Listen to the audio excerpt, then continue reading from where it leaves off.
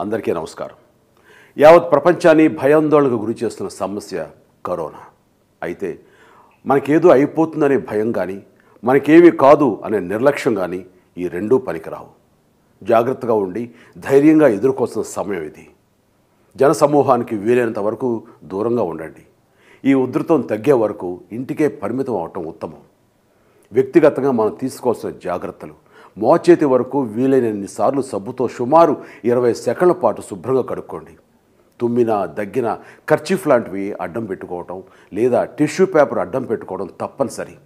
ఆ వాడిన tissue paper కూడా జాగ్రత్తగా మూత ఉన్న చెత్తబుట్లో వేయండి. మీ చేతిని కళ్ళకి నోటికి ముక్కుకి ముఖానికి తగలకుండా చూసుకోండి. అలాగే మీకు జ్వరం జలుబు దగ్గు అలసట లాంటివి ఉంటే వెంటనే డాక్టర్ని సంప్రదించండి. మీ జలుబు దగ్గు ఇత్తాలికి అంటకుండా మీ ముఖానికి మాస్క్ ధరించండి.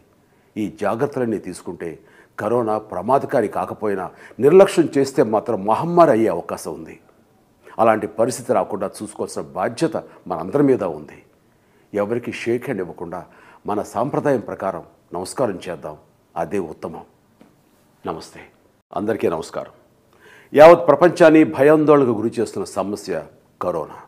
అయితే మనకేదో అయిపోతుందనే భయం కానీ మనకేమీ కాదు అనే నిర్లక్ష్యం కానీ ఈ రెండూ పనికిరావు. జాగ్రత్తగా ఉండి ధైర్యంగా ఎదుర్కోవాల్సిన సమయం ఇది. జనసమూహానికి వీలైనంత వరకు దూరంగా ఉండండి. ఈ ఉధృతం తగ్గే వరకు ఇంటికే పరిమితం అవటం ఉత్తమం.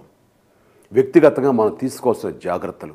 మోచేతి వరకు వీలైనన్ని సార్లు సబ్బుతో సుమారు ఇరవై సెకండ్ల పాటు శుభ్రంగా కడుక్కోండి. తుమ్మిన దగ్గిన కర్చీఫ్ లాంటివి అడ్డం పెట్టుకోవటం లేదా టిష్యూ పేపర్ అడ్డం పెట్టుకోవడం తప్పనిసరి. ఆ వాడిన టిష్యూ పేపర్ కూడా జాగ్రత్తగా మూత ఉన్న చెత్తబుట్టలో వేయండి. మీ చేతిని కళ్ళకి నోటికి ముక్కుకి ముఖానికి తగలకుండా చూసుకోండి. అలాగే మీకు జ్వరం జలుబు దగ్గు అలసట లాంటివి ఉంటే వెంటనే డాక్టర్ని సంప్రదించండి. మీ జలుబు దగ్గు ఇత్తాలికి అంటకుండా మీ ముఖానికి మాస్క్ ధరించండి. ఈ జాగ్రత్తలన్నీ తీసుకుంటే కరోనా ప్రమాదకారి కాకపోయినా నిర్లక్ష్యం చేస్తే మాత్రం మహమ్మారి అయ్యే అవకాశం ఉంది. అలాంటి పరిస్థితి రాకుండా చూసుకోవాల్సిన బాధ్యత మనందరి మీద ఉంది. ఎవరికి షేక్ హ్యాండ్ ఇవ్వకుండా మన సాంప్రదాయం ప్రకారం నమస్కారం చేద్దాం. అదే ఉత్తమం. నమస్తే. అందరికీ నమస్కారం. యావత్ ప్రపంచాన్ని భయాందోళనకు గురి చేస్తున్న సమస్య కరోనా. అయితే మనకేదో అయిపోతుందనే భయం కానీ మనకేమీ కాదు అనే నిర్లక్ష్యం కానీ ఈ రెండూ పనికిరావు. జాగ్రత్తగా ఉండి ధైర్యంగా ఎదుర్కోవాల్సిన సమయం ఇది.